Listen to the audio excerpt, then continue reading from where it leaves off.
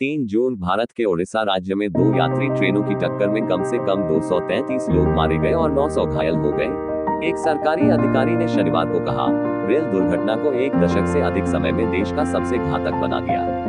राज्य के मुख्य सचिव प्रदीप जेना ने ट्विटर पर कहा कि शुक्रवार की दुर्घटना में मरने वालों की संख्या बढ़ने की उम्मीद है।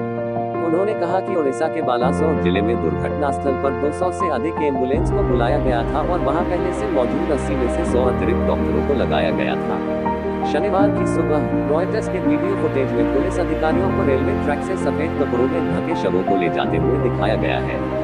शुक्रवार के वीडियो फुटेज में दिखाया गया है कि बचावकर्ता क्षतिग्रस्त ट्रेन में से किसी एक पर चढ़कर जीवित बचे लोगों को ढूंढ रहे हैं, जबकि यात्रियों ने मदद के लिए पुकारा और मलबे के पास पिस्टल में